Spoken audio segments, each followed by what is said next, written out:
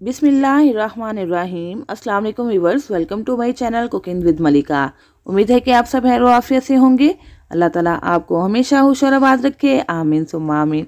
तो व्यूवर्स आज हम बहुत ही चटपटी सी और बड़ी खट्टी मीठी सी चटनी की रेसिपी लेकर आपकी खिदमत में हाजिर हैं।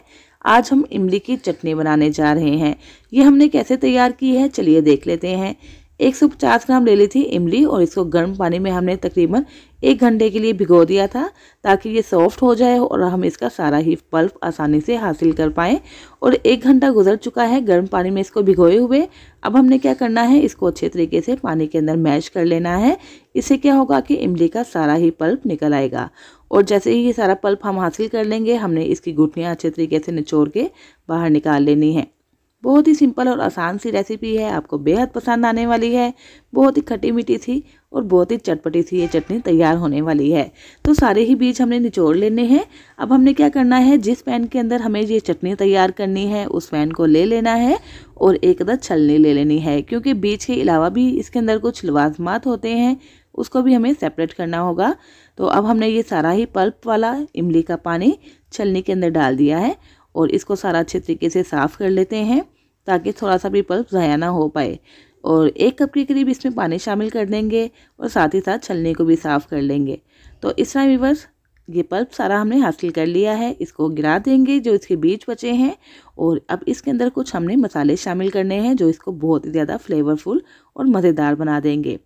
यहाँ पे ज़ीरा पाउडर शामिल किया है जो कि इसकी जान है। बहुत ही अच्छा फ्लेवर आएगा। हाफ़ टी स्पून है और ड्राई रोस्टेड है। थोड़ा सा हमने क्रश किया हुआ जिंजर यानी कि अदरक शामिल किया है और बस एक ही लहसुन का क्लोव यानी कि कली लेकर उसको क्रश करके इसके अंदर शामिल कर दिया है। इन दोनों के डालने से भी फ्लेवर बहुत अच्छा आ जाएगा।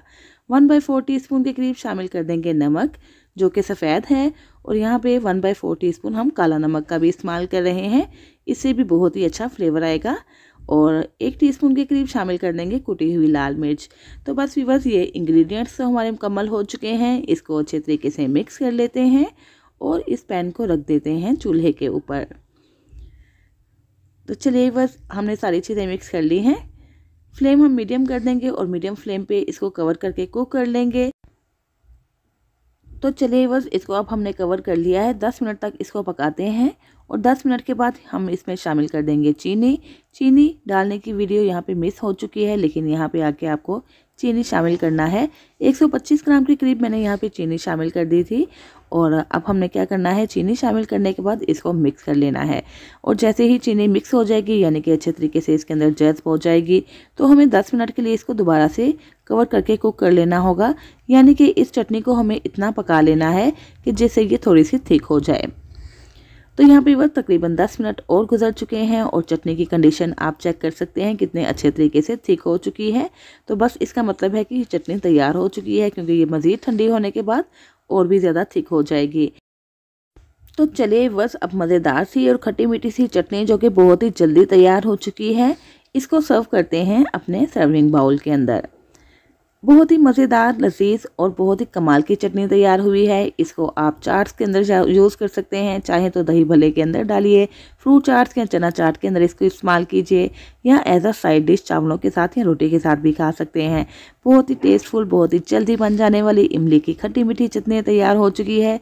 और चाहें तो ऐसे ही इसको इंजॉय कर सकते हैं। ये देखिए कितनी जमी और टेस्टफुल लग रही है। तो उम्मीद है बस आपको मेरी ये रेसिपी पसंद आई होगी। रेसिपी अच्छी लगी तो प्लीज़ मेरी वीडियो को लाइक और शेयर कर दीजिएगा। और अगर आप मेरे चैनल पर नए हैं तो प्लीज़ चैनल सब्सक्राइब करके बेलाइकन प्रेस कर दें, ताकि आपको मेरी नई नई वीडियोज़ की नोटिफिकेशन फ़ौरन से मिल सके, जो फ्री ऑफ़ कॉस्ट है। इस रेसिपी को इसी तरीके से ट्राई कीजिएगा और काइंडली मुझे फीडबैक देना मत भूलिएगा। इसके साथ ही व्यूवर्स इजाज़त चाहती हूँ, फिर हाजिर होंगी इंशाल्लाह एक नई रेसिपी के साथ। अपना बहुत सा ख्याल रखिएगा मुझे भी दुआओं में याद रखिएगा। अल्लाह हाफिज़।